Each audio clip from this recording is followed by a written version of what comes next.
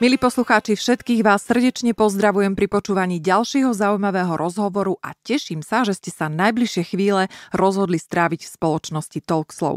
Volám sa Mária Bernátová a môjim dnešným hostom je pán Norbert Mesároš, duchovným menom Raven Moonwolf, zasvetený a iniciovaný čarodejník tradície Vika a Hedwig.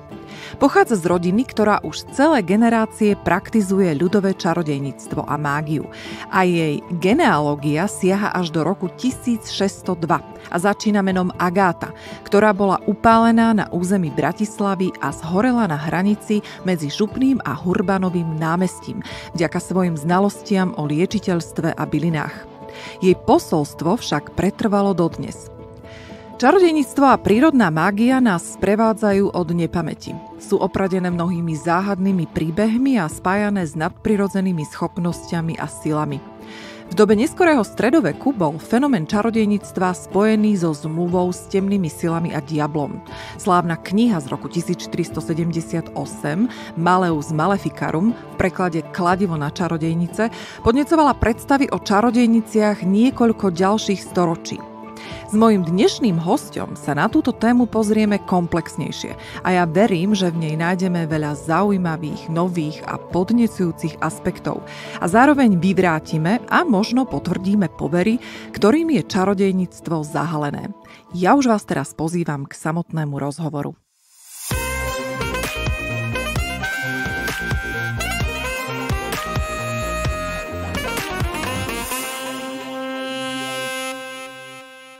Norbert, dobrý deň. Srdečne vás vítam a som veľmi rada, že ste prijali pozvanie na, naš, na dnešné nahrávanie. Ďakujem a ja vás vítam. A teda som rád, že som mohol dojsť sem k vám a mať takúto zaujímavú tému práve s vami, aby sme poslucháčom vedeli nejakým krásnym spôsobom objasniť túto tému alebo priniesť zaujímavosti. Ďakujem veľmi pekne a prvá otázka, ktorá napadne podľa mňa mnohým, ktorí teraz počujú alebo počuli ten úvod, je tá, ako ste sa vy, Norbert, k tomuto dostali? No. Taká zaujímavá, že? Taká nevšedná otázka na úvod. Áno, úplne všedná. Dostávam ju často. Ono, dostali, no je to, je to skôr tak, že ja som vyrastal v rodine, kde naozaj sme mali veľmi blízko k prírode a vlastne boli sme vedení k tej prírode a svoje detstvo sme trávili v prírode a, a k tej úcte k prírode sme boli vedení a pr- presne čarodejníctvo je o tej úcte k prírode. Takže moja prvá cesta k čarodejníctvu alebo k prírodnej mágii bola cestu prírodu a cestu, ak nás rodičia viedli k tej prírode. Takže mm-hmm. takto asi. A vy ste povedali, že prvá cesta.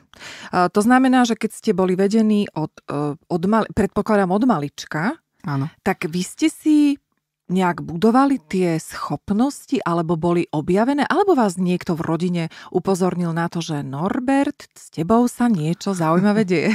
tak my to v rodine naozaj máme, tieto vrodené schopnosti jasnozrievosti a, a po niektorí liečiteľstva jasnovidnosti.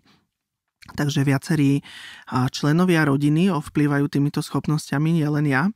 A nikto by na mňa neupak- ne, akože neupozornil alebo niečo, skôr by som povedal, že ten človek ako sa viac a viac približuje prírode, ako si uvedomuje tie prírodné cykly, a tú krásu a silu prírody, tak vnútri s ním rastie tá sila, pretože my sme prírodní, hej, takže uh-huh. tá sila prírody uh, ako keby v nás zobudza ten potenciál prírodnej mágie. Uh-huh.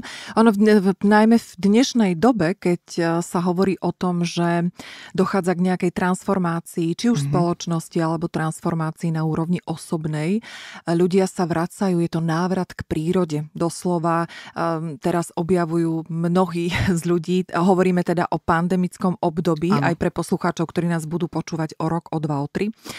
Tak aby ste vedeli, že rok 2020 sa niesol uh, v takomto duchu. A je to ten návrat k prírode. Mnohí sa prichytia pri tom, že a ja idem do lesa a ako v tom lese je príjemne, začnú zbierať žihlavu, všímajú si kvetinky. Mm, čiže je to jasné posolstvo, že niečo tam v nás je, možno skryté, možno neobjavené. A narážam na to, že vy ste mi v predchádzajúcom rozhovore, ktorý sme spolu mali, povedali, že my máme každý v sebe nejaké danosti, predpoklady alebo schopnosti. Mm-hmm. Približte mi to, čo to znamená, že každý to máme v sebe. Magia, ako ja zvyknem hovoriť, není nadprirodzená. Magia je absolútne prirodzená, pretože vychádza z prírodných prvkov oheň, voda, vzduch, zem. A človek sa vlastne skladá z týchto prvkov prírodných. Hej? Oheň, trávenie, voda, krv, vzduch, hej, zem, kosti a tak ďalej. A človek sa už rodí uh, s tým, že má určité schopnosti, určité danosti, ktoré môže použiť alebo používať v rámci svojho života. Niekto to rozvinie viac a niekto menej, to je veľmi akože osobitné. Takže ja si myslím, že každý to máme v sebe, niekto viac, niekto menej, ako som povedal, a môžeme to rozvíjať práve aj tým prinavrátením sa k pôvodným tradíciám alebo k prírode a príroda nám veľmi prospieva, pretože hlavne v tejto aj z tejto magickej stránky, pretože príroda je ten generátor, odkiaľ my čerpame tú magickú silu. Tá mm-hmm. správna sila čarodejníka, čarodejnice alebo niekoho, kto pracuje s týmito prírodnými energiami, je práve z tej prírody, z toho prírodzeného toku prírody. Mm-hmm.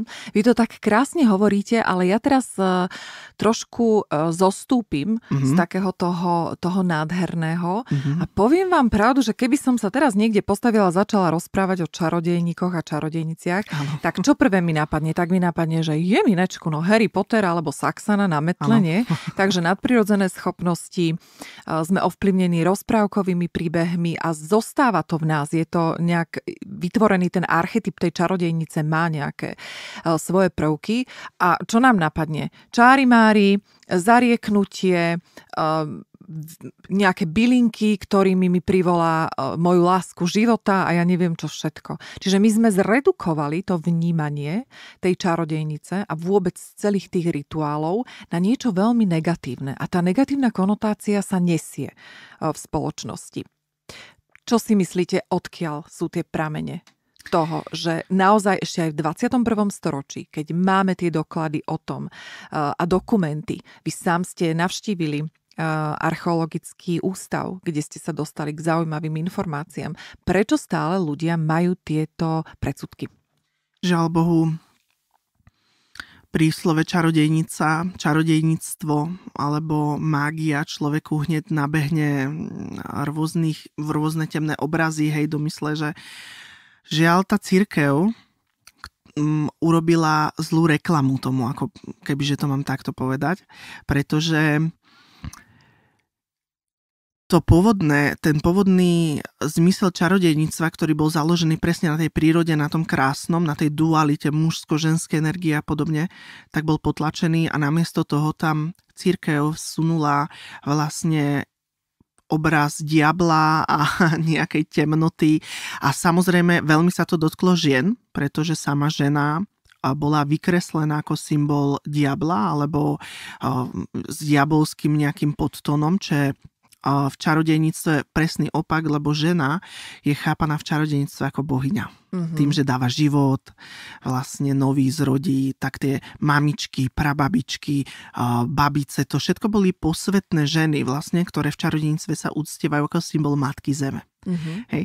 Takže ja si myslím, že žiaľ tou, tou nepresnou interpretáciou toho čarodejníctva z pohľadu cirkvi vzniklo to, že došlo aj k tomu neslavnému upalovaniu čarodejníc, hej, mm-hmm. alebo utlačaniu žien a nie len žien, samozrejme, a v rámci toho, že boli veľmi múdre babice, vedmy, liečiteľky a dodnes sa to ťahá vlastne uh-huh. s nami, s čarodejníkmi a s čarodejnicami. A ja si myslím, že určitá forma inkvizície funguje dodnes týmto spôsobom. Uh-huh. Uh, áno, vy ste ma na to upozornili, že posielajú na vás rôzne kontroly, plujú vám na okna áno. a iné veci. Uh, no, nemá to, nemá to taký ten cvenk, uh, ako keď poviete, že psycholog, viete? Áno. Teraz ako neviem, prečo mi napadol psycholog, ale pre niečo sa to asi, asi dialo. Každý čarodejník je psycholog. Každý čarodejník. Um, aby som uviedla na správnu mieru a vysvetlila poslucháčom, vy nie ste uh, Norbert čarodeník, ktorý si proste ráno vstal a povedal si, že bum, ja si tam dám takýto titulík a teraz no. akože ja o vás viem, pretože sme mali veľmi dlhý rozhovor, ja o vás uh, viem, že vy sa naozaj tomu venujete, študujete to, tak ako som už pripomenula, navštívili ste archeologický ústav, kde ste spolu s archeologičkou dokonca preložili niektoré latinské spisy. Ano. E, nehovoriac o tom, že ste absolvovali školu v ano. Anglicku a naozaj je to životný štýl. Toto je veľmi dôležité povedať, že čarodejníctvo je životný štýl. Vy ste mi povedali takú krásnu vetu, že keby ste čokoľvek iné robili, že by ste nerobili napríklad e, toho čarodejníka, e, tak môžete robiť akékoľvek povolanie, čarodejníkom ostanete do smrti, pretože určite. to je životný štýl. Určite ja to často používam, že ako čarodejník som sa narodila, určite ako čarodejník vykán aj zomriem, takže mm-hmm. je to tak. No a čo vlastne, k čomu tento môj monológ zase viedol, bolo k tomu, aby ste mi povedali, ako vlastne prebiehal ten proces toho, že ste boli menovaní tým čarodejníkom. V podstate ono, ja už som sa tým tak narodil, keďže to je v rodine, hej, že ono, ten prvý titul je tým narodením, ako odozdáva sa to rodine. A vlastne čarodejníkom môže byť ktokoľvek v podstate, kto má určité danosti a vlohy uh-huh. a rozvíja ich. Ja, samozrejme, počas mojej cesty to boli e, zdlhavé roky, pretože ja som toto pôvodne vôbec nemal v pláne a ani som netušil, že ma to zavieje až takto ďaleko na tejto ceste. A vlastne na svojej ceste som stretol rôznych učiteľov, učiteľky, s ktorými som rozvíjal môjho ducha a potenciál a navzájom sme si vymieniali, vymieniali uh, svoje poznatky a učenie.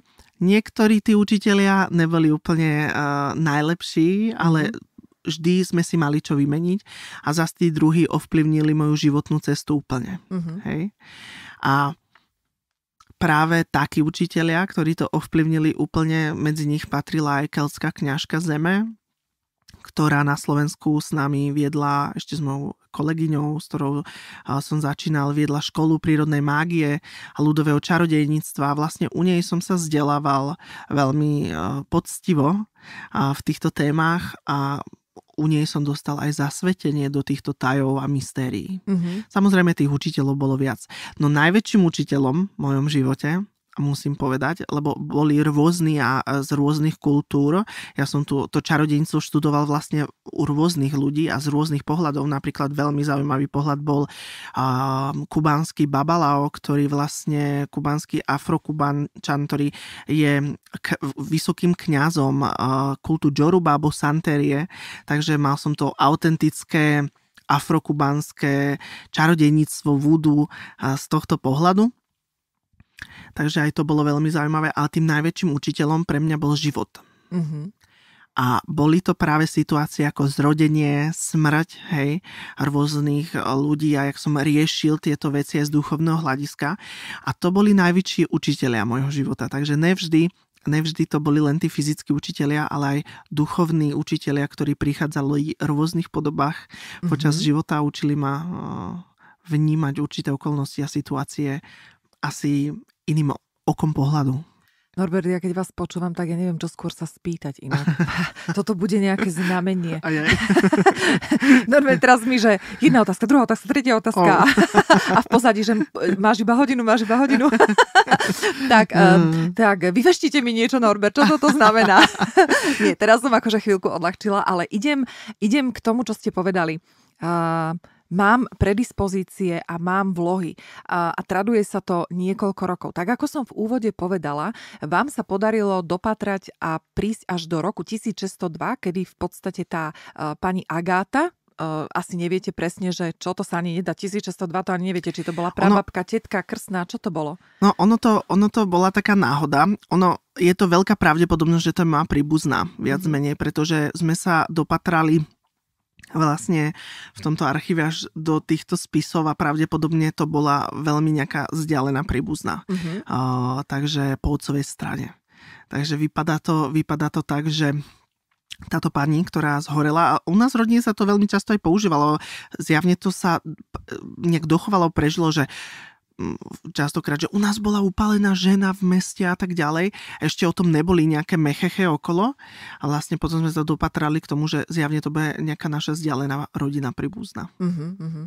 No a ako sa to objavuje, alebo ako sa prichádza v rodine na to, že táto rodina má schopnosti uh, čarodejnícke? To ja vôbec neviem. Uh-huh. Ale u nás naozaj aj moji súrodenci, ale aj vzdialení príbuzní majú rôzne schopnosti. Neviem, čím to je. A mm, teda aj moja mama vedome s tým pracovala, hej, má neboha mama teda. A, a vedela úžasne čítať energiu, veštiť, mala brutálne vyvinutú intuíciu, takže e, vedela s tým pracovať. A takisto moje sestry napríklad. Mám sestru, ktorá tiež tak má úžasne vyvinutú intuíciu, že dokáže veľmi presne nejakým spôsobom nacítiť človeka, vycítiť určité problémy, ktoré sa blížia alebo podobné veci. Uh-huh. Takže naozaj ovláda toto veľmi, veľmi zaujímavým spôsobom. A napríklad už som si všimol, že sa to prejavuje aj u ich detí. Uh-huh. Takže máme v rodine a vlastne mám neterku, ktorá je ešte maličká a už má danosti. Je to na nej veľmi vidieť, že má tie danosti. Si to všimli už aj úplne za, nezainteresovaní ľudia. A je to o to zaujímavejšie, že ona má určité, určité postihnutie, ktoré má a vlastne a, má úžasný cit, mm-hmm. empatiu a to duchovné vnímanie. Mm-hmm. Takže keď e, by každý chcel, lebo toto je taká vec, ktorá, aj keď som hovorila, že s kým budem nahrávať, spýtaj sa ho, že to ako cíti to, to ako vidí to, to ako vie. Ja, no a ja, ja tým, že sme mali spolu my už ten e, rozhovor, tak ja už viem, že to sa asi takto nedá povedať. Že? Ja to sám neviem popísať, že ako mm-hmm. to mhm. funguje. To je veľmi individuálne a dodnes som neprišiel na to, že ako sa to spúšťa, lebo to není tak, že tu teraz uh, sedím s vami a že hneď viem a vidím, ale ono to dojde tak nečakane všetko, ako keby aj tá intuícia môže byť nejaká, hej, že neustála, ale to skutočné videnie, niekedy sa mi stane, že človek dojde na nejakú konzultáciu alebo čokoľvek tárod alebo obrad a ja proste viem, neviem mm-hmm. odkiaľ viem, neviem jak to došlo alebo čo to je, ale som si istý, viem, že viem, hej. Ale jak to funguje, to asi to asi sa tak um, skoro ešte nedozvieme, alebo možno na to nie som ešte pripravený, aby som to vedel. A viete čo, možno, že to nie je vôbec dôležité vedieť. A, aj to je možné. Lebo mne sa napríklad veľmi páči tá veta medzi nebom a zemou. Áno, je to doslovne tak. A ako má toto svoje čaro a keď sledujeme napríklad e, rôzne kmene, kde jazyková vybavenosť je na oveľa nižšej úrovni ako naša a rozprávajú sa a komunikujú, to nie je, že rozprávajú, ale komunikujú na úrovni vedomia a, a body language a rôznych takýchto vecí, tak to len potvrdzuje tú skutočnosť, že my to v sebe všetci máme, ale... len e, zadupané vplyvom tých hmotných prednosti, ktoré teraz Áno, ale prežívame. nemusíme ísť ani ďaleko, pretože zoberte si matku a dceru, matku a syna. Uh-huh. Tá matka a dieťa všeobecne, hej. Tam funguje tam funguje prepojenosť, uh-huh. neverbálna komunikácia na úrovni duše alebo určité intuície. Uh-huh. To dodneska funguje, len je to presne tak, že tou dobou, to, to, tou životným štýlom. Áno, nie? tým uh-huh. všetkým, ako keby sa to potlačí. Uh-huh. Ale ono to je. A práve u tej matky a dieťaťa je to podľa mňa v dnešnej dobe úplne najsilnejšie. Mm-hmm. V mnohých uh, duchovných uh, takto v duchovných knihách alebo v duchovnej literatúre uh, som sa dočítala o tom, že my sa narodíme ako plné bytosti, naozaj plné. A tá cesta a zmysel toho života je objavovať a hľadať čo vlastne v sebe máme. Uh-huh. Len žiaľ Bohu na tých začiatkoch tým, že žijeme tam, kde žijeme a v akých e, podmienkach žijeme, tak je to utláčané. A tá cesta k tomu jadru toho človeka, tak to je vlastne tým zmyslom života. Objaviť, že čo naozaj sme. A to sa veľakrát e, dozvieme až na konci tej cesty. Um, takže možno viacej sa napojiť, ako ste vypovedali, na tú prírodu a skúmať, že čo to je. Ja teraz zase uh, zbehnem do 2D sveta mm-hmm. a čo už len také si môže žena vybaviť, keď počuje čarodejnica. Hej? No tak vybaví si veštkyňu alebo jasnovitku a ja vám poviem, Norbert, že ja nepoznám vo, vo svojom okolí ženu, teda s ktorou mám možnosť komunikácie, aby nemala nejakú skúsenosť s týmto. Hej? Či už sú to karty, alebo horoskop, veď na tom si fičia koľké ženy, alebo už navštívili vešticu. I napriek tomu stále je to nejakým spôsobom také, že tabuizované, že nebudem rozprávať, že o, som sa išla rozhodovať, či si vyberem števa alebo fera k veštici. S akými požiadavkami chodia za vami klienti, klientky najčastejšie? Sú to nejaké oblasti, ktoré vieme pomenovať? No, prvom rade je asi dobre podotknúť, že je veľký rozdiel medzi čarodejníkom, nejaké, nejakou vešticou alebo vedmou a podobne. A väčšina týchto žien len veľmi okrajovo sa zaujíma o čarodejnicu, lebo čarodejníctvo je naozaj plná cesta spoznávania živlov, prírody, okultných vecí, ale aj veľká cesta učenia sa. A jasnovidectvo alebo karty sú len jedným z tých ovocí na tom pomyselnom strome čarodejníctva. Uh-huh, uh-huh. Takže uh, v rámci svojho čarodejníctva, tak ako praktizujeme my z tej vikánskej sféry, robíme aj konzultácie, či sú to tarotové alebo iné, lebo v rámci toho sú aj iné postupy. Tak chodia ľudia s rôznymi s rôznymi požiadavkami, hej, to, s tým sa stretnete často. Často sú to ženy práve, ktoré a, veľmi radi a, riešia vzťahy, ale aj muži, ktorí veľmi radi riešia vzťahy. A by som povedal, že je to veľmi vyrovnané, lebo väčšinou vládne presvedčenie, že sú to pre väčšinou ženy. To nie je pravda. Ja práve, že moja skúsenosť je, že je to veľmi vyrovnané. Uh-huh. No a potom samozrejme je to otázka financií a životných nejakých problémov a sties, kde človek zíde z cesty. V poslednej dobe, úplne najviac posledné tri roky si všímam, že je to hodne otázka psychických problémov, uh-huh. emočných problémov a zdravia. To znamená, že prídu za vami s požiadavkou, že cítim sa neisto, cítim ano, ľudia sa nenaplnený. Majú, ľudia majú depresie, uh-huh. emočne sú rozhadzaní, nevedia, kde ich cesta. Cítia sa byť taký v tme. Uh-huh. A vlastne nevedia z toho výzvon. Uh-huh. Je taký, samozrejme, asi opäť len predsudok alebo nejaké očakávanie, že keď prídem, či už za čarodejníkom, alebo budeme ich nazývať čarodejníci. Áno, čarodejníci. Tak, áno. tak idem si pre riešenie. Veď oni to za mňa vyriešia. Oni to budú vidieť v tých či už tarotových kartách, alebo sa to zjaví v kryštálovej guli. Tak toto asi nefunguje. Nie, vôbec. Nevždy máme riešenia a konec koncov nie my sme tí, ktorí pomôžu tým ľuďom, ale oni sami.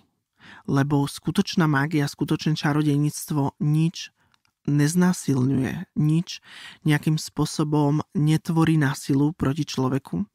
Práve naopak, mágia, jak som povedal, nie je nadprirodzená, ale prirodzená a preto tvorí ako keby pomyselný most, uh-huh. po ktorom človek prejde sám, prejde k tomu svojmu cieľu alebo k riešeniu toho problému. Pretože veľa možno sa na mňa veľa ľudí teraz urazí, ale možno veľa tých pseudoveštíc a podobne, je to dneska veľmi tenká hranica medzi, medzi um, neodbornou pomocou, neviem ako inak by som to mm-hmm. nazval, a um, až klamaním alebo zavádzaním klienta. Uh-huh. A ponúka ľuďom zázraky na počkanie. A toto je veľký problém. Ono v skutočnosti, keď niekto naozaj sa odborne tomuto venuje, má to hĺbke duši a je to naozaj láska, z ktorej to vychádza, tak vlastne neponúka zázraky na počkanie, ale naozaj je to cesta. Ono vždy ten, ten klient a tá cesta s ním je proces. A nikdy to není ten čarodeník, ktorý konec koncov robí nejaké zázraky. To je sám klient, ktorý mm-hmm. vlastne s pomocou toho čarodejníka a jeho rôznych techník, nejakých očist alebo niečo, čo sa toho týka, prejde k svojmu riešeniu. Mm-hmm. Hej, takže my len, my len ako keby tvoríme ten most. My nesmieme priamo zasahovať a ovplyvňovať tok, prirodzený tok veci, pretože mm-hmm. to je potom zlé. Mm-hmm. A toto ma presvedčilo, keď ste to hovorili, už zase opäť na, pripomínam, že na našom predchádzajúcom rozhovore, pretože mi to v podstate pripomína ten koučovací alebo mentorský prístup, kedy ano. nie coach a mentor prináša riešenie, ale prináša si ho klient a mentor je akýmsi sprostredkovateľom toho, že pomáha klientovi vytiahnuť tie veci, ktoré možno nevidí. Takže mu tak akože priniesť ten vnútorný zrak. Duchovno je dneska veľmi tenká, alebo dneska v duchovne, lepšie povedané, je veľa nástrach. Pretože príliš veľa duchovných nejakých mentorov, učiteľov, ja to veľmi nemám rád, tieto pojmy a pomenovania, sú nejakým spôsobom mm, povýšený duchovným egom. Ako mm-hmm. keby si tým, si tým nejak mm, nahrávajú, hej, a pripisujú si nejaké veľké zásluhy, je to veľmi moderné a uh, preto je to taká tenká hranica medzi tým naozaj nájsť kvalitného, duchovného, zrelého, duchovného človeka, ktorý nepotrebuje si nejakým spôsobom niečo tým kompenzovať, ale naozaj, že uh, chce pomôcť. Pretože dneska je toho veľmi veľa, tých duchovných učiteľov, mentorov a tak ďalej a je medzi tým tenká hranica, kde je tá hranica pomoci a toho, že niekto si tvorí nejaké meno, nejaký imič. Mm-hmm. Hej? Lebo dneska veľmi často veľa duchovných ľudí, aj čarodejníkov, uh, veľmi radi používajú, my sme tí jediní, my sme tí najväč, najväčší, hej, vrátime vám partnera alebo čokoľvek. Toto sú, toto sú temné úskalia duchovná, na ktoré si treba veľmi dávať pozor. Uh-huh. A ako to vieme rozoznať, milajci? No, uh, prvom rade tým, že už keď niekto o sebe hovorí, že najlepší, najvyšší a najkrajší, tak je niekde problém. Uh-huh. a druhom rade tým, že a ak vám niekto chce ponúkať služby ako prinavrátenie partnera alebo pričarovanie určitej osoby lásky alebo čokoľvek, tak je niečo zlé. Mm-hmm. Pretože to tak nefunguje. Magia tak určite nefunguje, čarodejníctvo tak určite nefunguje. Takéto veci nemožno pričarovať, lebo viete, aj láska, to je prirodzené. Uh-huh. To je proste posvetné. Čo posvetné? To je najposvetnejšie. Uh-huh. To proste buď vás niekto miluje, alebo vás nemiluje. A už keď ho chcete začarovať, ja to vždy vysvetľujem tým ženám týmto spôsobom, tak vy musíte ovplyvniť jeho slobodnú voľbu. Uh-huh. Slobodnú vôľu. A tým pádom mu sugerujete určitý typ myšlienky alebo chtíča, aby tam bola vytvorená tá rezonancia. A samozrejme rôzny títo, títo uh, ani nechcem to nazvať, že čarodejníci, lebo skutočne čarodejník toto neurobí, tak uh, si na tom stávajú svoj biznis, pretože oni to zakryjú za tie krásne slova typu a to len zobudíme tú lásku a podobne. Mm-hmm. Takže na toto by si ľudia veľmi mali dávať pozor. Ako veľmi zdravým sedliackým rozumom a s vnútorným pocitom sa rozhodovať uh, medzi tou pomocou a naozaj tým, čo je nutné a tým, čo by nám niekto chcel nejakým spôsobom predať.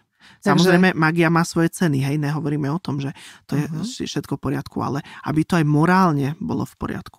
Takže keď uh, utrhnem chlapovi chlpy z nosa a chlpy z podpažia, potom tam pridám nejaké byliny a vypijem, tak to nefunguje. Tak máte možno celoživotný problém a karmu. Uh-huh. Alebo, alebo nejakú energiu si už potom na seba navezujete, pretože, pretože vy na silu ovplyvnite tok nejakej prírodnej prírodnej sily, ktorá uh-huh.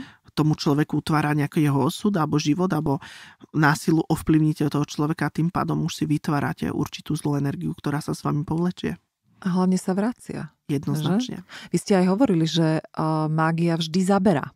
Vždy. Neexistuje typ čarodejníctva, ktorý, alebo kúzla, ktorý nefunguje. Každé kúzlo funguje a má svoje pre aj proti. To znamená, že ja sa vždy nejakým spôsobom riadím jedným dôležitým pravidlom. Všetko dobré, aj zle sa ti trikrát v živote vráti späť. Uh-huh. Takže tak. Uh-huh. Tak e, to mi teraz, teraz mi zase idú myšlienky, že viete, lebo uh, tu je krásna napríklad taká veta, ktorá na to sedí, že daj si pozor, čo si želáš. Áno. Alebo daj pozor, čomu venuješ svoju pozornosť. Určite tak e, tieto vety nevznikli len tak, ale mm. oni majú hlbokú múdrosť v sebe a keď ju pochopíme, keď jej porozumieme, tak nám môže byť užitočná. Takže to sedí na to, čo ste teraz e, povedali, aby sme boli opatrní v podstate aj s takým zariekavaním, nie? Lebo to sa často mm. hovorí, že si zarieknutá a ľudia to dokonca na seba cítia. Čo to je s tým zarieknutím? Je, existuje veta, ktorá hovorí, že stokrát zopakovaná lož sa stáva pravdou Je to Mhm. tak? Áno, hej, tak. A tak to máte aj so zaklínaním. Ako vytvoríte určitú rezonanciu. Všetko je o vibráciách a rezonanciách energie. Mhm. A to je presne to. Každé slovo má svoju vibráciu, ktorú my môžeme kulminovať stokrát opakovanou nejakou formulkou a tým tvoríme jeho egregorickú energiu, ako keby jeho ducha, Mhm. ktorého oživíme treba s emóciou. Mhm. A potom to funguje, hej. Takže to sú, to sú presne tie veci. Jednoduché, jednoduché a veľmi pravdivé zákony, ktoré fungujú. Takže takto funguje, že človek by si naozaj mal dávať pozor na to, čo hovorí, hlavne ak to hovorí pod nejakými emóciami, ne- nejakou, nejakou, nejakým vypetím, hej, tak vtedy napríklad aj tie kliatby sú najsilnejšie častokrát medzi rodinami keď Mhm. sa hádajú rodiny medzi sebou. Viete, keď stretnete cudzieho človeka na ulici a po, niečo mu poviete, tak možno tomu nedávate ani takú váhu, ako keď to poviete niekomu, na kom vám záleží, alebo Mhm. kto s vami rezonuje, hej. A tak e, to môže zaboleť. A práve to, tá informácia pod tým, pod tou emóciou tvorí silný náboj, ktorý dáva život danému hovorenému slovu. Mhm. Tak myšlienka je zmerateľná, to už všetci vieme. Áno. A, takže darmo sa bude niekto chytať za hlavu, o čom to Áno. rozprávame, no tak to sú fakty, ktoré, sú, na, ktoré sú vedecky podložené. Mm, A áno, keď je tá myšlienka ešte podložená aj tou emóciou, tak e, sa dostáva do toho pola a vzniká tam ten kivadlový efekt, ktorý sa samozrejme potom môže vrátiť aj tomu človeku, ktorý uh, vlastne tú kliatbu vyriekol. Áno, častokrát to môže byť aj neumyselne a treba si na to dávať pozor, treba to kontrolovať. Dokonca veľmi často sa mi stáva na rôznych terapiách, že s človekom dojdeme do úplne banálnych vecí, kedy on si myslel, že to je banálne, hej, že, že čo ja viem, v detstve mi bolo povedané toto a on to objaví, že aha, toto je tá vec, ktorá mi rezonuje, ktorá mi nedá spávať konec koncov. Mhm. Že slova majú veľkú moc, slova Mhm. majú veľkú moc. Treba Oni sa dávať pozor. usadia v tom podvedomí Áno. a tam pekne zapúšťajú tie korienky a rastú do veľkých stromov, ktoré ale nevidíme, keďže to je v podvedomí. Takže vznikne vlastne veľký myšlienkový strom, ktorý potom tlačí a, na mnohé tie naše, a, naše životné cesty a ovplyvňuje nás. Určite áno. Ja si myslím, že lepšie by to bolo, kebyže ten strom sú mudré vety a krásne slova od našich predkov a rodín, ktorú, kto, a ten pomyselný strom by rástol, tak vtedy tá koruna to je tá múdrosť. Mm. A skôr si myslím, že tieto zásevy negatívnych slov sú ako červy v tom strome, Mhm, ako mhm. parazity. Mhm, mhm. Krásne sme sa tu, počúvajte mi, jak básni, básnime, že? Ale krásne, nie? Tak, tak má to, viete čo, normálne cítim takú, takú veľmi príjemnú atmosféru, vám musím povedať. Je to také, mám vizuálne predstavy o všeličom. Moja mama, uh, bola som teraz s maminou nedávno a povedala mi takú krásnu vetu, lebo mňa veľmi zaujímajú tie korene a história môjho rodu a je naozaj uh, veľmi zaujímavá. A mama tak mi zvedomila i vetu, že keď nectíš svoje korene a minulosť, tak nemáš budúcnosť. To je pravda. Povedzte mi, Norbert, k tomu niečo. U nás v rodine chvála Bohu a bohyni. U nás je veľmi dôležité uh, poznať svoje korene. A dodnes u nás funguje uctievanie si svojich predkov. Aj tých, čo odišli na druhú stranu. Takže u nás, keď sa narodí dieťa, tak sa robí oslava predkom. Ide sa na cintorín a tak ďalej. U nás, keď niekto zomre, tak sa otačame znova na tých predkov. Keď niekto trpí alebo je chorý, taktiež sa otačame na svojich predkov. Ja dodnes, keď mám niekam odcestovať, tak idem na cintorín, kde odnesem kvety svojej mame a sestre a rodinným príslušníkom, zapalím sviece a pýtam si požehnanie na mojej ceste. Uh-huh. A tieto rodinné tradície, rodinné korene sú veľmi dôležité, lebo tvoria budúcnosť novej generácii. Uh-huh. Žiaľ Bohu, dneska sa na to zabúda. Téma smrti a predkov je absolútne ešte stále v plienkach, by som povedal. Je to častokrát aj tabu, lebo ako keby s tou smrťou toho človeka zaniká všetko a zostáva to len niekde v myšlienkach. Pritom celá téma predkov nám ponúka širokú škálu rôznej pomoci, ktorú si môžeme akože pre seba vyťažiť z tých predkov, alebo, lebo keď necháme to predka ako súčasť nášho života aj naďalej a, a treba, keď máme problémy a vieme sa od, obrátiť na to predka s nejakou modlitbou, Napríklad, keď sú Vianoce, poznáme to, že jeden tanier je pre pocestného, ale Áno. my dávame taniere pre predkov. Uh-huh. Hej. Robíme večeru pre tých predkov aj na Sviatok Samhain, u nás sa to um, oslavia ako dušičky. Mm-hmm. A, tak vlastne uh, robíme takú tichú večeru pre predkov. Takže ak toho predka necháme vo svojom živote alebo predkov naj naďalej, oni sa o nás budú starať. Mm-hmm. Dneska je trend obracame sa na všelijakých anielov a bytosti, ro, robíme tu rôzne trendy duchovné, ktoré sú uh, niekedy až prazvláštne, keď si predstavím, že taký aniel ako... Mm, samozrejme je to v poriadku, každý verí tomu, čo mu chce, mm-hmm. ale je to môj osobný teda taký subjektívny názor, že taký aniel, každý máme nejakého svojho ochrancu alebo aniela strážneho, to môžeme nazvať, ale už také preháňanie typu, že, že potrebujem financie, tak poprosím svojho aniela strážcu, alebo nedarí sa mi v láske, hej, a poprosím svojho aniela strážcu, tak to nemá význam, pretože ten aniel v živote nezažil ako nejakým spôsobom finančnú nejakú krízu nežil tuto v našom časovom pásme alebo nejakú lásku, sexualitu, ako to myslím, že je absolútne nejaké absurdné. Hej? A kdežto môžeme povedať našim predkom, ktorí tu boli, reálne zažili financie a lásku a sex a vášeň a všetko toto a na toto sa zabúda. Ako keby tá tradícia predkov je veľmi nedocenená. Uh-huh. Je to škoda. Uh-huh. A máte na to nejaké riešenie? Alebo v rámci vašej... Lebo e, my sme teda spomenuli aj to, že máte školu, uh-huh. kde poskytujete vzdelanie, alebo ako to mám nazvať? Ono to je celý proces tej školy. To je krásna škola, ktorá vlastne má svoju tradíciu a vlastne Celá škola je úplne jednoducho zaležená na prinavrátenie sa k prírode. Samozrejme sú tam aj také tie iné prvky, ako normálne rôzne obrady a rituály, ktoré sa učíte, rôzne postupy v rámci kola roka, to sú prápovodné sviatky.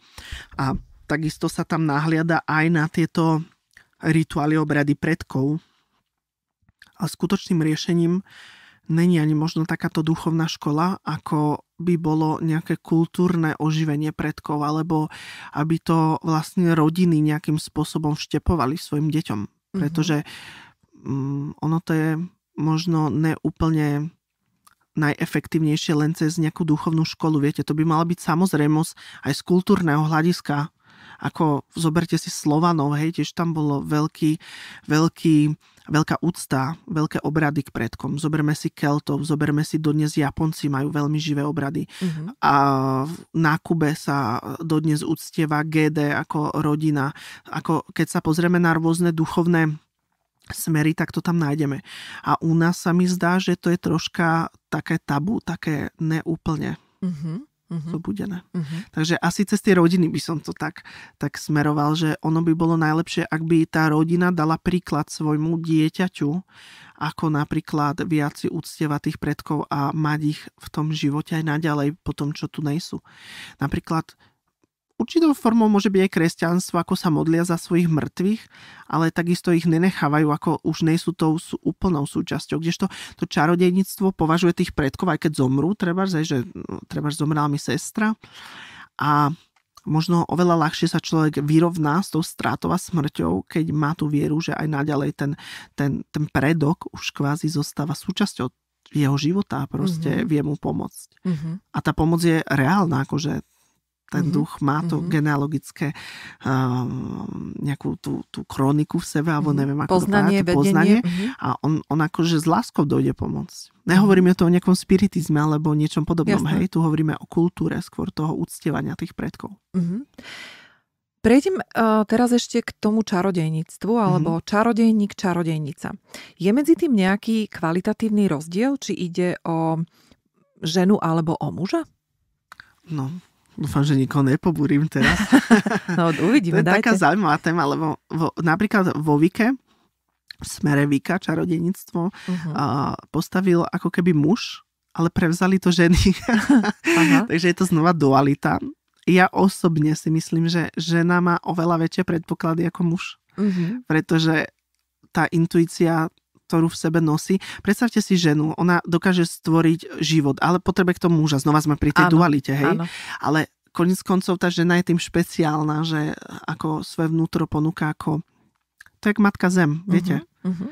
To zrodenie, tá, tá, tá posvetno, tajomno, to posvetné tajomno zrodenia a vtelenia a všetkého, tak to je tá žena a preto si myslím, že ženy z rôznych dôvodov majú veľké predpoklady vlastne otvoriť viac svoju intuíciu. Nehovorím stať sa čarodejníkom, pretože to je, to je proces, ako každá žena je určitým spôsobom čarodejnica, hej, kuchyňa, bylinky a rôzne veci a intuícia a tak ďalej. A záleží od toho, jak si to otvorí. Hej, a potom tá cesta čarodejnica to je už individuálne, lebo tá, tá čarodejnica, niekto povie, že no, ja som vedma, alebo som veškina, tak som čarodejnica. To není úplne pravda, hej. Uh-huh. Ako môže mať ten potenciál, že každá žena môže byť čarodejkou, ale byť tou čarodejnicou, tak je vlastne aj určitý postup, cesta, učenie a naozaj e, tá, to čarodejnicou má určité, e, určité nejaké ani ne, že kritéria, ale a, princípy. Uh-huh. No vy vlastne musíte dodržiavať, musíte, chcete, dobrovoľne dodržiavate rôzne rituály. Áno. Jedným z tých e, ste mi hovorili, ten sa mi veľmi páčil, že na každý spln Áno. vychádzate hlboko do lesa, Áno. zbierať bylinky a robiť Áno. rôzne rituály, spievať, tancovať? Tak ako kedy, no niekedy sa zbierajú bylinky, niekedy bláznivo tancujeme, uh-huh. spievame, ale je to obrad vlastne mesačnej bohyne, kde sa s našim kruhom, my to voláme, niekto to volá Saban, niekto Koven, uh-huh. a sa stretávame spolu, aby sme vlastne ako keby oslavovali bohyňu. A není to bohyňa v zmysle nejakej, nejakého božstva, len ktorému sa kláňate, ale je to určitý archetyp, mesačná bohyňa ako mesiac, archetyp pasivity ženskej energie a slnko, archetyp aktívnej energie, mužskej energie, hej. A to, to sú dva princípy, slnko a mesiac, mm-hmm. hej. A práve počas splnu my uctievame tú veľkú matku, tú mesačnú bohyňu a, na, a ako necháme sa napájať tou, tou uh, tým mesačným svetlom. Uh-huh. A to podporuje našu mágiu, našu silu. Takže asi by som to tak povedal, že okrem splnou sa stretávame ešte aj 8 krát do roka, niekedy uh-huh. aj viac samozrejme. Uh-huh. A to, je, to sú ešte sabaty, pôvodné pohanské sviatky kola roka. Uh-huh. Vy, my sme sa tak trošku len sme načali tú keď som sa vás pýtala, že ako ste v podstate boli menovaní, Aha. tak e, to bol proces a tam sme nedokončili ano. úplne celkom, že ako sa to vlastne stalo, pretože vy e, na celom svete o sebe viete. No, Hej. No akože väčšina tých čarodejníkov sa vždy pozná, sú rôzne denominácie vo Vike. Čarodejníctvo máte, máte e, Gardnerovskú Viku, ktorú založil úplne zakladateľ Gardner potom máte rôzne iné denominácie ako kruhobrodenia a tak ďalej. A my sme avalonská tradícia, ktorá vychádza z posvetného Avalonu a viacero našich učiteľov bolo v tých prapovodných vlastne denomináciách, ale my sme tak trocha voľnejší, by som povedal, že tá naša um, uh, naša naše odvetie je voľnejšie, to avalonské. A aj náš koven sa volá Kruh avalonského plameňa, je to posvetné miesto v Glastonbury v Avalone. A vlastne to je v Anglicku? Áno, uh-huh. áno, v Glastonbury. A vlastne takisto sme ale tradicionalisti v tom, že to čarodejníctvo môže byť buď úplne eklektické, kde človek si robí podľa seba, mm-hmm. ale my viac menej sme tradicionalisti a tá tradicionalizmus, alebo ten tradicionalizmus spočíva v tom, že vlastne náš koven je založený na dualite kniaza kňažka, ktoré mm-hmm. reprezentuje mužskú a ženskú energiu v rovnováhe.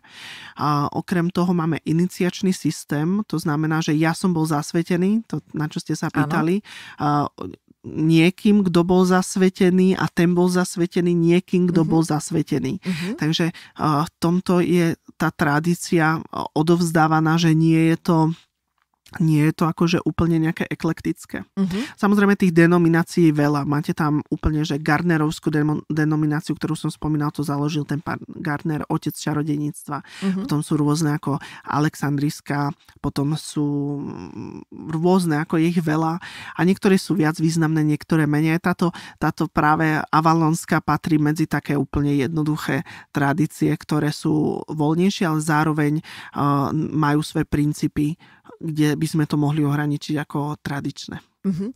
Keď sa vrátim ešte k tým procesom, ako v podstate s tým klientom pracujete, ano. a ja som už spomínala, že väčšinou si chodíme pre tie rozhodnutia. Áno. Ten proces, čo robíte v prípade, že nemáte náladu, respektíve nič nevidíte, nejde vám to, pretože ste len človek, aj keď čarodejník, ale človek. Presne. Čo robíte vtedy, aby sme, aby sme trošku priblížili a takou ľudskou rečou predstavili toho čarodejníka a vás? No my sme není úplne ničím výnimoční, akože žijeme úplne bežné životy tak ako aj iní a ani ja nemám náladu, občas ráno stanem s ľavou nohou a vtedy asi ma nechce nikto stretnúť. Mm-hmm. Som protivný, no typický chlap, hlavne keď som hladný, hej. Takže aj takto sa to dá a hlavne ja sa vždy snažím ku každej konzultácii, ja to nazývam konzultácie, tak e, sa snažím pristúpať profesionálne. To znamená, to je moja práca, vôbec e, do toho nevkladám svoje nejaké pocity alebo nejaké nejaké osobné problémy alebo čokoľvek, lebo je to veľmi neprofesionálne aj z takého psychologického hľadiska absolútne nepriateľné. Hej? Uh-huh. A stane sa, že človek má naozaj deň, kedy sa mu nechce, alebo naozaj môže sa stať, a sa mi aj stalo niekoľkokrát, že dojde klient a ja neviem, nevidím, neviem, neviem sa na to nacítiť a je to úplne v poriadku, to treba povedať, že je to úplne normálne. Takže vtedy pekne vysvetlím klientovi, že teda asi to nejde mm-hmm.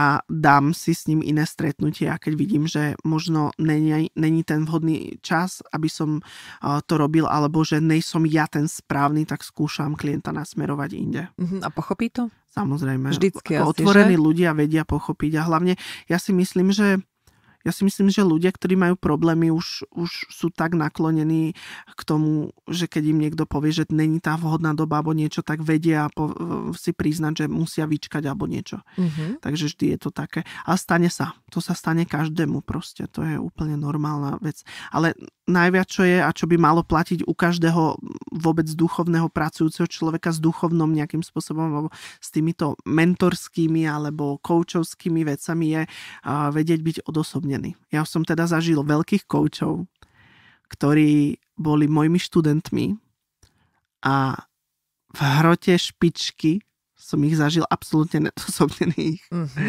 Takže ono je dobre, keď človek vie byť taký, že aj prijať kritiku, aj vlastne e, priznať si chybu, každý robíme chyby. Hej, koľko raz sa mi stane, že, že ako keby dojde klient a naraz mi to nejak vypadne celé a neviem mu to nejakým spôsobom zinterpretovať, tak sa mu ospravedlním. Proste to sa stáva. Uh-huh. Ono to je danosť, to, to, není, to není o tom, lebo máte veľa typ ľudí. Máte typy ľudí, napríklad rôzne veštice, ktoré len interpretujú tarot. Uh-huh. To mhm. máte len takých, naučí sa význam a interpretuje. Že sa naučí význam tých kariet, hej? Presne tak. Uh-huh. Potom máte ľudí, ktorí môžu mať aj nejakú, nejakú schopnosť a plus interpretujú. Uh-huh a nedaj Bože do toho ešte zaťahujú svoje nejaké... Svoje, no. no tak to je už úplný problém. To, to ako by sa nemalo stavať, že veštica, dojdete k veštici alebo k nejakej vedme a povie, no toto mal môj syn a ja... To je najhoršie, čo najhoršie. môžete to... to alebo ako... o klientoch, o desiatich klientoch a o vás je... vlastne sa nedozviem o sebe nič. Áno, to, je, to není dobre. A potom máte ľudí, ktorí naozaj interpretujú energiu. Mm-hmm. Dostávajú sa do psychometrie medzi klientom a vlastne vykladačom alebo čarodejníkom alebo čokoľvek a vyčítate energiu toho klienta, energiu tarotu, spoločnú energiu, ktorá vzniká, lebo vy tým tarotom, to je parapsychológia, ako keby vstupujete do jeho energetického pola, z ktorého vyťahujete informácie. A to je dôležité vedieť, že že tam musíte byť odosobnení, pretože ak tam budete vkladať to svoje, ten výklad bude nedostačujúci a bude ovplyvňovaný vašim vlastným pudom alebo niečím, čo chcete pretlačiť vy. Takže ja naozaj si veľmi dávam pozor na tieto veci. A niekedy je to ťažké. Ako sa to dá vôbec kontrolovať, že, alebo rozoznať, že aha, prax. ja tam teraz dávam svoje. To je prax, to je, to je aj o praxi, ale mm-hmm. aj o vyzretí duše, o vyzretí ako človeka. Človek ako terapeut vôbec lebo to je jedno, či to je čarodejník, alebo či to je psychológ, alebo coach. To je určitým spôsobom terapeut a musí byť vyzreté jeho vedomie a jeho emócie do takej miery, aby vedel pomôcť tomu človeku. Môže byť 30-ročný človek, čarodejník, čarodejnica vyzretý? Tak e, vek neurčuje vyzretie. To sú životné situácie, skúsenosti, ale aj duch, ktorý vchádza ako do toho človeka pri narodení, tá matrica. Uh-huh. Ja poznám kopec napríklad aj 8-ročných detí, ktoré sú veľmi vyzreté. Dneska sa rodia vôbec veľmi múdre deti, veľmi nadané. Uh-huh, Takže to vyzretie není len o veku. Samozrejme, vek je skúsenosť, že tam už tie skúsenosti niektoré môžu zohrávať určitú a takisto rastie ten človek tým vekom a vyzrievaním. To znamená, 30-ročný človek určite nebude mať také skúsenosti ako 50-ročný človek, uh-huh. ale to vyzretie emocionálne môže byť úplne aj na úrovni nejako 50-ročného. Mm-hmm. Ale ako nevekovo, rozumiete? Ako... Chápem, lebo to sa aj hovorí, že to je stará duša.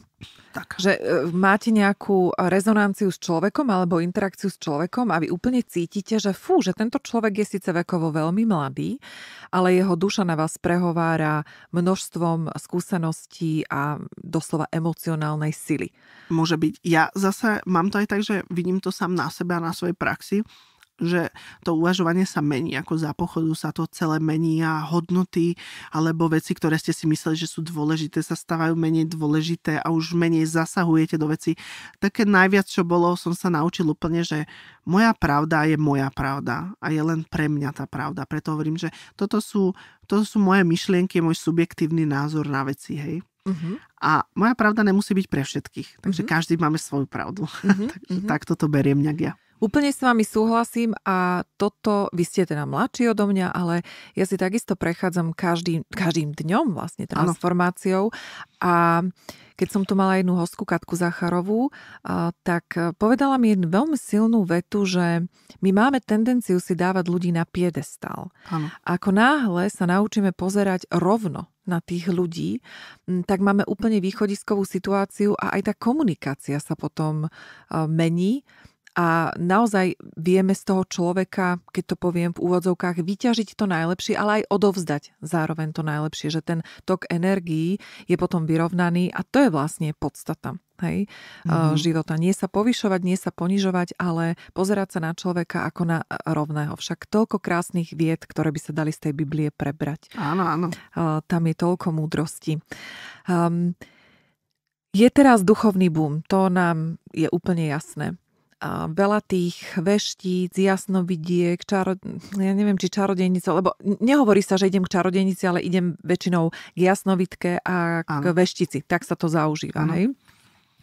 Robia rôzne online konzultácie, čistenia na diálku a ja neviem čo všetko. Čo vy, Norbert, dajte tú vašu pravdu, ktorá je len vašou pravdou. Aký máte na to názor? Na prvom rade je to len mojou, mojou pravdou subjektívnou áno, a áno. dúfam, že sa tým nikoho nedotknem. Nie, nikoho, nebojte sa. ja moc tohto teda zastanca nejsom, ako aj my robíme rôzne čistenia, rituály a obrady, ale snažíme sa naozaj človeku sprostredkovať obrady vždy osobne a to znamená nie na diálku, pretože za tým je určitá veda, tá ceremonialistika, ritualistika, to je veda, hej. Samozrejme rôzni eh, ezoterici alebo mm, samozvaní duchovní liečitelia z rôznych, dneska to vidíme v rôznych televíziách médiách a všade kade, ponúkajú presne tie zázraky na počkanie a čistenia cez televíziu. Videl som vtipný, vtipnú príhodu, jak jeden veštec z nemenovanej tele, televízii povedal, že priložte ruky na televíziu. Naozaj. Akože liečenie na diálku, hej? Áno, takže hovorím, no tie elektrické vlny, hovorím to Wi-Fi, všetko super.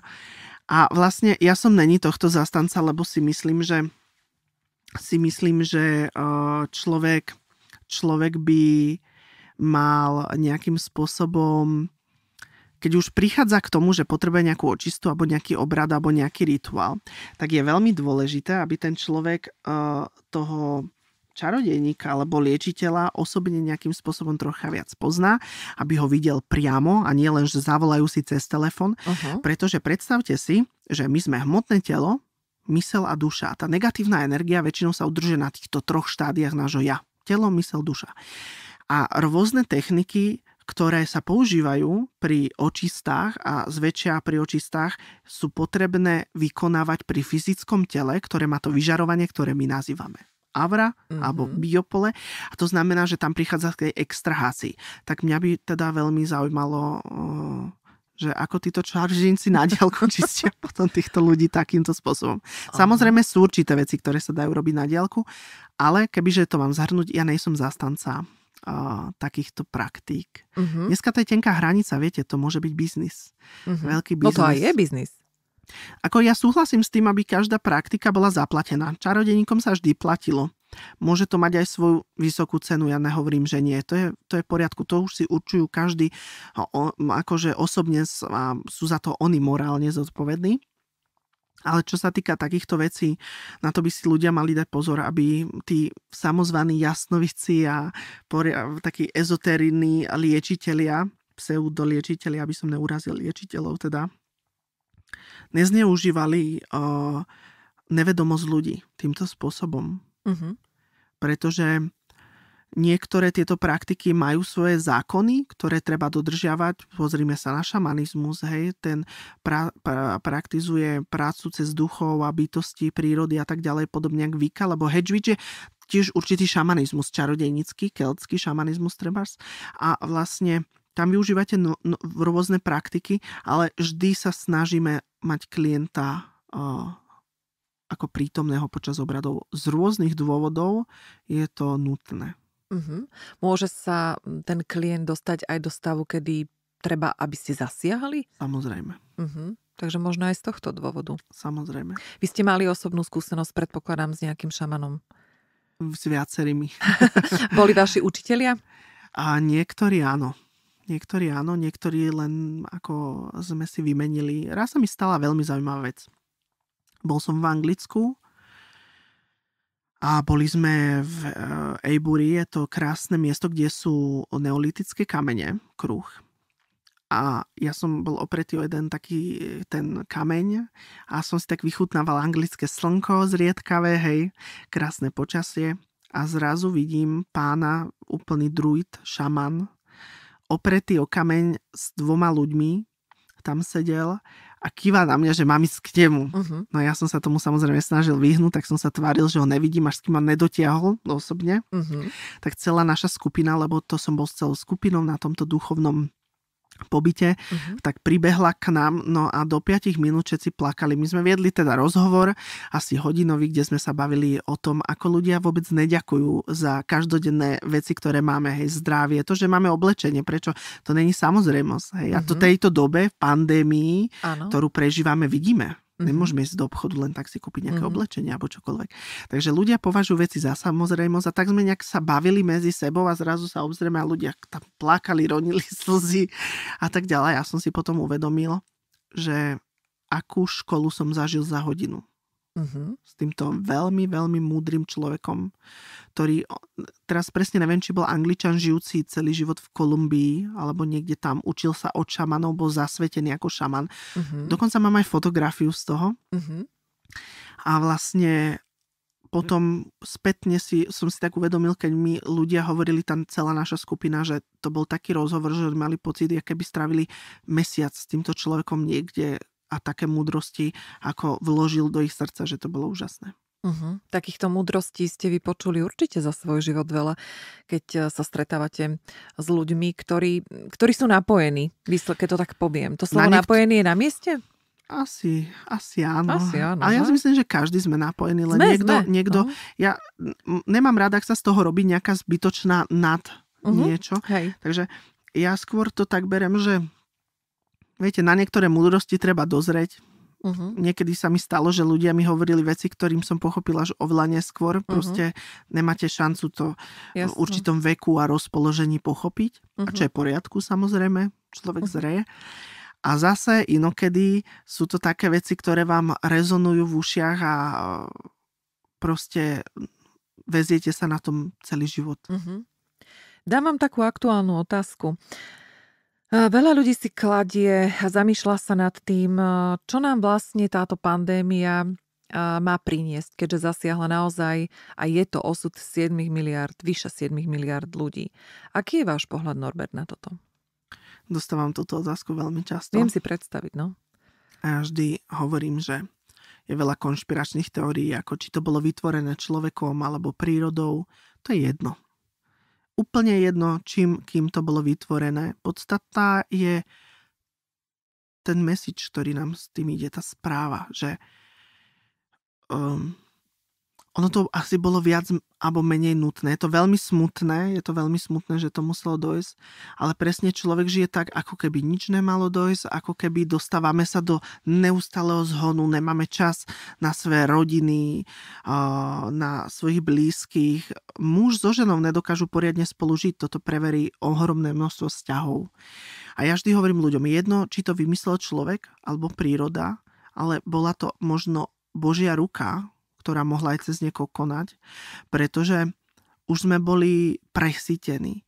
To slovo presítenosť vystihovalo aj vystihuje našu dobu.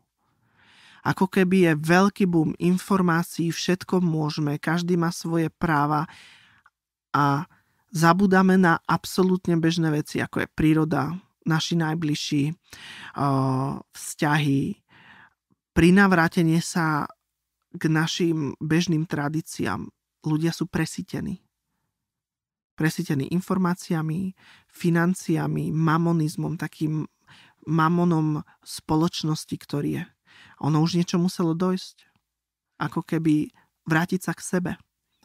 A vy si myslíte, že toto je dostatočná doba, aby ľuďmi prešlo toto uvedomenie? Pretože tri mesiace podľa mňa vôbec nič nevyrieši. Ale v každom to zanecha niečo. Uh-huh. Asi myslím, že každý, lebo či niekto verí v Boha, alebo bohyňu, alebo v Matku Zem, to je úplne jedno. Ale máme slobodnú voľbu a slobodnú vôľu. A vlastne ako keby toto všetko nám môže dať e, nejaký spätný, spätnú väzbu. Môžeme si ako keby z toho niečo zobrať a svoj život prehodnotiť lebo mm-hmm. veľa ľudí žilo teraz v strachu. Jednak to bol mediálny strach, ktorý k nám prichádzal a bol to, bol to taký vykonštruovaný strach možno, ale jednak bol to aj osobnostný strach, ktorý prichádzal z toho, že môžeme niekoho stratiť, že môžeme my sami nejakým spôsobom zostať na tom zle. Mm-hmm. Bol to ekonomický strach hej, z prežitia. A my z týchto jednotlivých strachov si môžeme niečo zobrať. Mm-hmm. Veľa, učí to, veľa ľudí to učí rôznym podobám toho, aby jednali inak v uh-huh. rôznych situáciách. Uh-huh. Aspoň osobne si myslím. U mňa to tak bolo teda. Uh-huh. Uh-huh. Norbert, o, o, otázka na záver. Uh-huh. Z ktorej situácie v živote ste sa najviac naučili a bola prínosom? Čo je tá múdrosť, ktorú ste do dnešného dňa dostali a napadne vám ako prvá, alebo si ju dáte na ten pomyselný piedestal, že mm, tak toto bola situácia, alebo toto je tá múdrosť, ktorou sa riadím a ktorú som sa naučil. No, toho bolo veľa a samozrejme sú niektoré, ktoré e, sú silnejšie a menej silnejšie. A samozrejme niektoré nemôžem dať von. Neviem, je mi to jasné. Ale kebyže mám podať niektorú ktorú z týchto myšlienok, lebo bola aj situácia, ktorá bola úplne vrcholne silná pre môj život, ale ne, nerad by som sa Jasné. ešte s ňou delil. Mm-hmm. Ale keby, keby som mal povedať niečo, tak je to asi... Boli situácie, ktoré ma naučili to, že najväčším vrcholom duchovná nie je nejaký duchovný život v nejakých duchovných priamkách alebo medziach, ale to, že žiť život spokojný sám so sebou. Ako keby to duchovno je život to duchovno, to duchovné prežitie život žiť naplno a v súlade sám so sebou.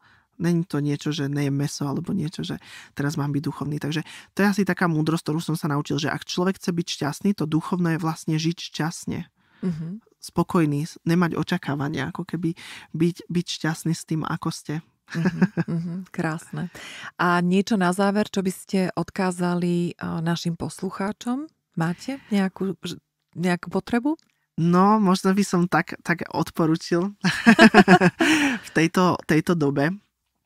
Zanechal také posolstvo veľa ľudí, vidím, že veľmi osamelých a vidím to hlavne na starších ľuďoch. Objímajte stromy a skúste zanechať svoju osamelosť, aby sa pretransformovala v nejakú lásku a skúsme viac vlastne hľadať porozumenie ako rozdiely medzi sebou, lebo to je teraz veľmi dôležité. Krásne, Norbert. Ja vám veľmi pekne ďakujem. A ja ďakujem. A ja vás určite navštívim a aj poslucháčky a poslucháči, ktorí budú mať záujem na o kontakt na mm. Norberta, tak e, mi kľudne píšte a, a nájdete ho samozrejme aj na webe. Povedzte ešte e, My máme stránku. na Facebooku obchod Avalon Magic, je to čarodenický obchod, mm-hmm. takže mm-hmm.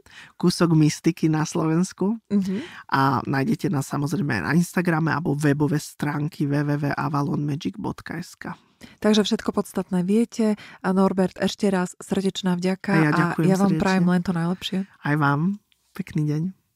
Ďakujem všetkým fanúšikom kvalitných rozhovorov a hlavne vám, ktorí ste s nami ostali až do konca. Verím, že sme priniesli opäť zaujímavú tému a prispeli k rozšíreniu vašich informačných kanálov. Nič nie je čierno-biele a vďaka otvorenej mysli máme možnosť robiť naše životy rozmanitými a plnými farieb. A ja vám všetkým na najbližšie obdobie želám, nech je tá vaša paleta života čo najfarebnejšia. V prípade vašich postrehov, vhľadov a nápadov som vám k dispozícii na mailovej adrese mariazavináčtalkslow.sk A ak nás chcete podporiť, budem vám veľmi vďačná, keď podcast Talkslow odporúčite svojmu okoliu a ostanete nám verní i naďalej. Majte sa krásne, užívajte život a ja sa na vás teším už čoskoro, buď osobne alebo v éteri podcastu Talkslow.